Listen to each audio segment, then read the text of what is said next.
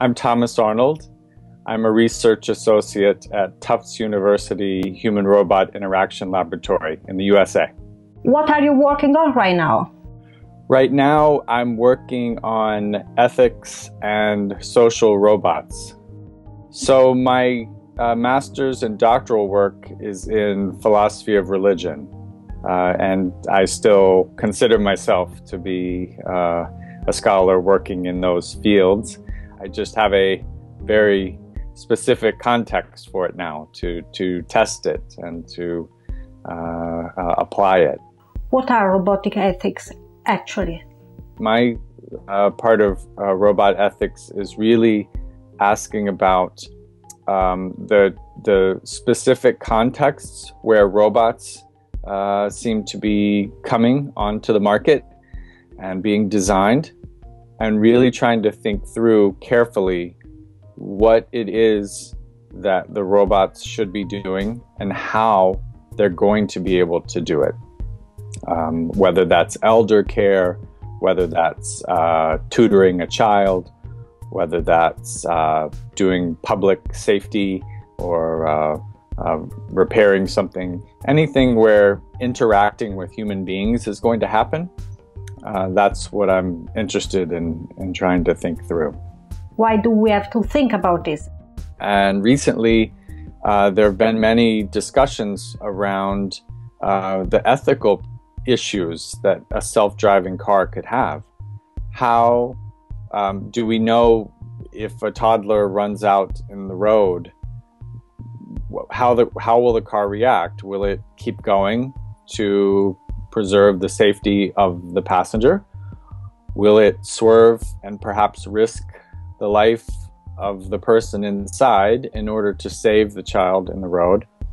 Um, that's a you know that's a, a limited case, but nonetheless, it's a case where we have to uh, think about what we want uh, the system to do and why.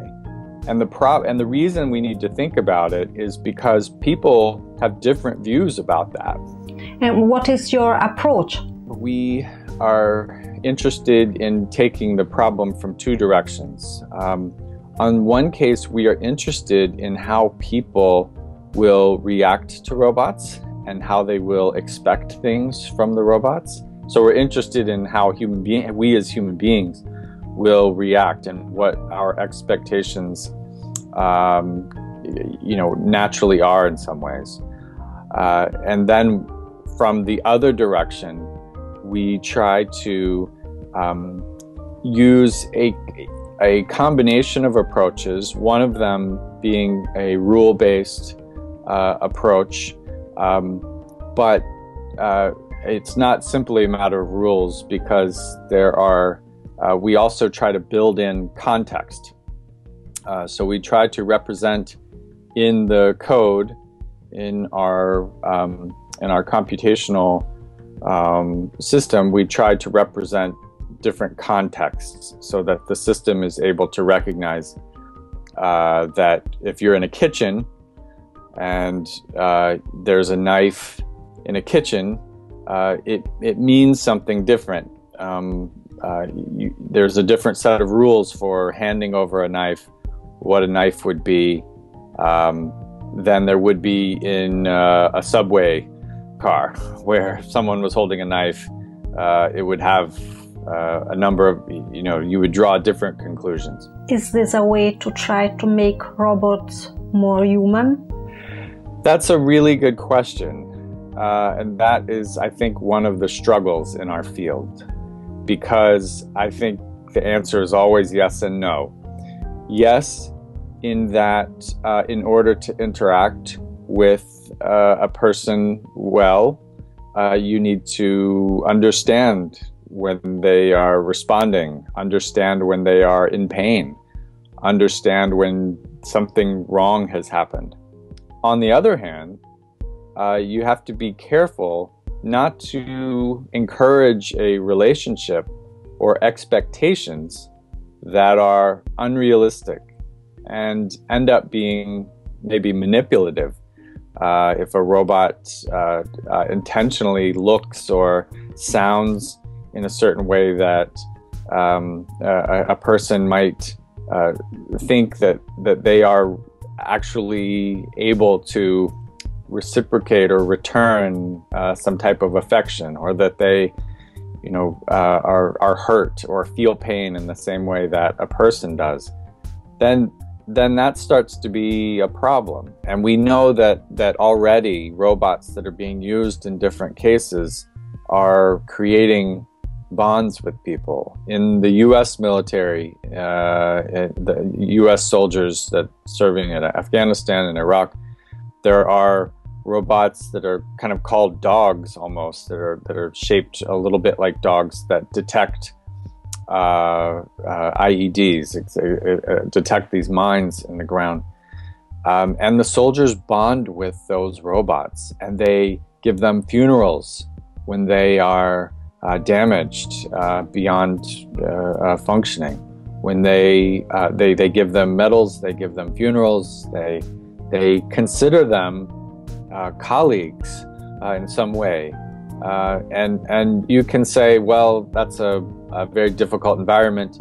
Um, so maybe people are, are uh, you know, maybe the soldiers are in a state of mind where they're vulnerable to do that. But, but I really think uh, it, that's uh, something that will extend beyond that context. I think people will have, um, they will be drawn into that, and I, and I think it's a serious ethical issue.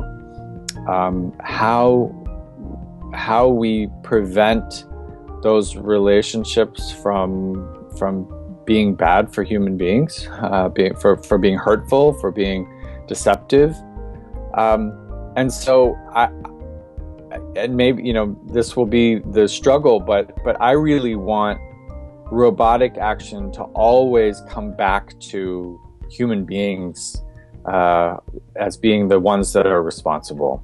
Um, so that when a ro- robot performs something uh, uh, well and is responsive, um, I would like us to say not uh, that robot is human or that robot is um, moral. I would rather say the robot performed a moral action that human beings uh, are are responsible for. That our design uh, allowed that moral action to occur, and so ultimately, it comes back to us. It comes back to um, uh, our ethics and our relationship to one another, uh, because I I think that's that's our responsibility is to um, um uh, keep ourselves accountable for what the robots do and uh, it will be very tricky. Uh, it will be very hard. Le- the lawyers and legal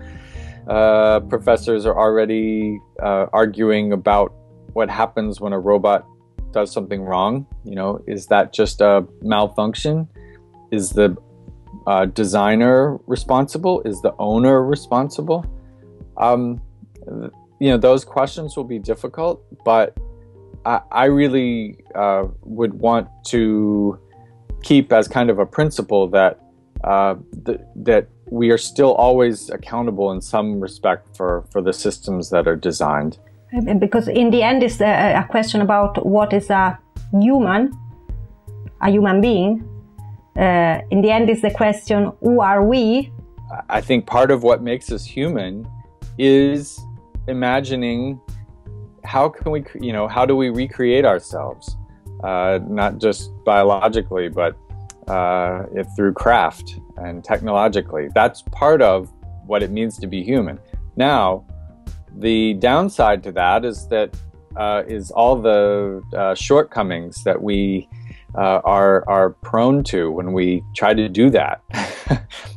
I think that's the other side of uh, that part of what makes us human is that we're also flawed in in how we um, imagine. Sometimes our imagination lets us do wonderful things, and sometimes our imagination uh, deceives us as to how things will actually unfold. Um, and so I think robots are are just another chapter in that story. Uh, it's another, you know, in the press you have people that want to write headlines. Will the robots take over? Will they take over um, our civilization? And and I think those are not very helpful um, because they uh, it's another way to um, avoid, I think, responsibility here and now, um, and the fact that uh, we need to pay attention to uh, uh, how we're treating one another uh, and how you know robots and art- artificial intelligence is just is not just but it's an it's a reflection of what we think about one another and how we're, we're treating one another as human beings. But I, I think it will be an ongoing your question you know is still i think on the table to figure out what we're what we're doing and do you have a wish for the future? My, my wish would be that uh, we find a way to live sustainably on, on our planet. What is life about? I think life is about uh, exploring and learning from one another, struggling and continually asking that question of what life's about. Thank you very much, Thomas. Thank you very much. Uh, thank you, Narina. Thank you. Thank you.